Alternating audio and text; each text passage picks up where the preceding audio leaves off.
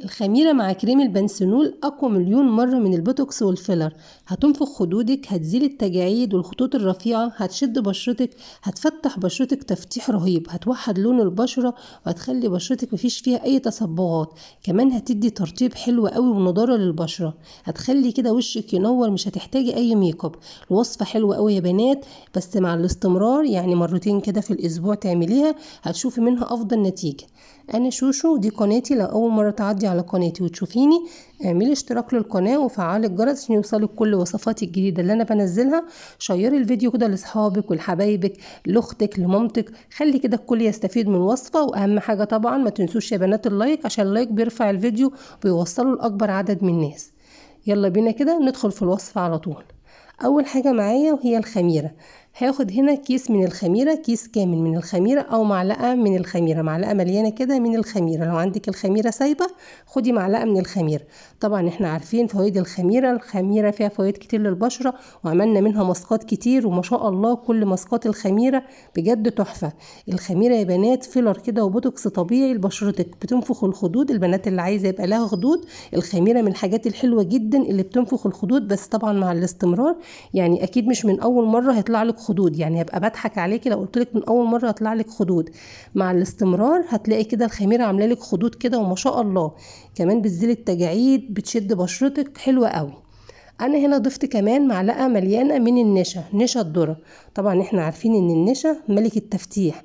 النشا بتفتح البشرة بطريقة حلوة جدا بتنظف كمان المسام فيها كمية من البروتينات بتزود كده إنتاج الكولاجين في البشرة كمان فيها فيتامين سي فيها مضادات أكسدة فمن الحاجات الممتازة للبشرة. خلطت بقى النشا والخميرة باللبن الحليب إيه تلات أربع معالق كده وقلبي. تقدري تستبدلي اللبن بالزبادي اللي موجود عندك استخدميه مفيش مشكلة. هتنزلي واحدة واحدة وتقلبي لحد ما الخميرة تفك معاكي. الخميرة بتاخد وقت شوية على ما تفك معاكي مع الاستمرار كده قلبي كويس لحد ما تاخد القوام اللي انت هتشوفيه دلوقتي. أهم حاجة إن كله كده يتجانس مع بعضه وتاخد القوام الكريمي اللي انت شايفاه ده. شايفين يا بنات القوام بقى ناعم خالص والخميرة دابت مفيش فيها أي حبيبات خالص. بعد كده بقى هضيف معلقة كبيرة مليانة من جل الصبار. جل الصبار يا بنات حلو جدا في التفتيح من الحاجات الممتازة جدا في التفتيح وكمان في الترطيب يعني بيدي ترطيب حلو قوي كمان بيزيل البقع الداكنة والهالات السوداء وبيقلل كمان من التجاعيد والخطوط الرفيعة كل ما بشرتك تكون فيها ترطيب كل ما التجاعيد بت بتقل أو بتأخري ظهورها فما شاء الله جل الصبار من الحاجات الممتازة جدا يعني حتى لو أنا مش عاملة الماسك ده فأنا بستخدم جل الصبار كده يوميا على بشرتي بيخلي البشرة كده طرية وناعمة وكمان خصوصا البشرة الجافة يعني أنا بشرتي جافة فهو ما شاء الله حلو جدا كمان للبشرة الجافة. قلبي بقى المكونات كلها مع بعض كويس وادمجي كده جل الصبار بباقي المكونات والإضافة اللي بعد كده والأخيرة وهي كريم البنسنول. هاخد معلقة صغيرة من معلقة الشاي كريم بنسنول لأن الكمية اللي إحنا عاملينها مش كبيرة أوي. معلقة صغيرة تبقى كفاية. الكريم ده بنات ممتاز بجد خطير. أنا بستعمله بقالي سنين وما شاء الله النتيجة بتاعته حلوة جدا. بيفتح البشرة بطريقة خطيرة. كمان بيدي ترطيب عالي جدا للبشرة خصوصا برضو البشرة الجافة أنا بشرتي جافة وحساسة فما شاء الله الكريم ده حلو جدا مع مع بشرتي. ومع كل أنواع البشرة بصراحة هو ممتاز بجد. فلما دخلته كده في الوصفات الطبيعية النتيجة بتاعته ما شاء الله حلوة قوي. حلو جدا في التفتيح والترطيب. مع ماسك الخميرة ده النتيجة بتاعته بجد خطيرة. الماسك كده جاهز معايا هتفرديه طبعا على بشرتك طبعا بشرتك تكون نظيفة تكوني غاسلة الأول بشرتك كويس وتبدأي بقى تفرديه على إيديكي وعلى رقبتك وعلى وشك. ما شاء الله حلو جدا. هتسيبيه طبعا على بشرتك لحد ما ينشف معاكي. ماسكات الخميرة يا بنات أنا ما بفضلش إن إحنا نحتفظ بيها في التلاجة.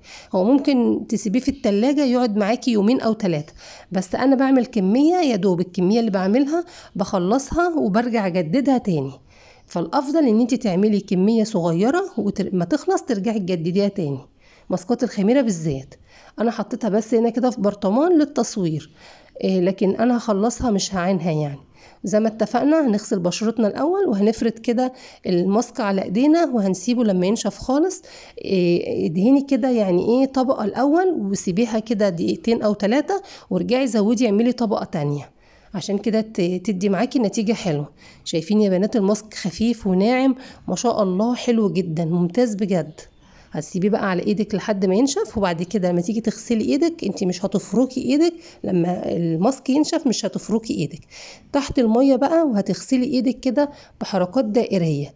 يعني تعملي كده تدليك لإيدك وانت بتغسلي. يعني إيدك تحت المية وتدليك كده وانت بتغسلي ايديكي. هتلاقي نتيجة ما شاء الله حلوة جدا. كده كان شكل كده الماسك بعد ما نشف معايا تقريبا بعد ربع ساعة أو تلت ساعة. بقى بالمنظر ده. بعد الماسك طبعا هتغسلي وبعد كده ترطبي بأي مرطب أنت بتستخدميه. أي ماسك بتعمليه لازم بعد الماسك ترطبي باي مرطب يعني الموجود عندك رطبي بيه. عشان بشرتك كده تفضل كويسة ويفضل إيه فيها نضارة كده وترطيب. لو وصلتي بقى معايا لحد هنا ما تنسيش تحط ال like. لو لسه ما حطيتيش ال like ولو لسه ما اشتركتيش في قناتي اعملي اشتراك للقناة وفعلي الجرس عشان يوصلك كل جديد. يلا أشوفكم على خير إن شاء الله. الفيديو الجاي. باي باي.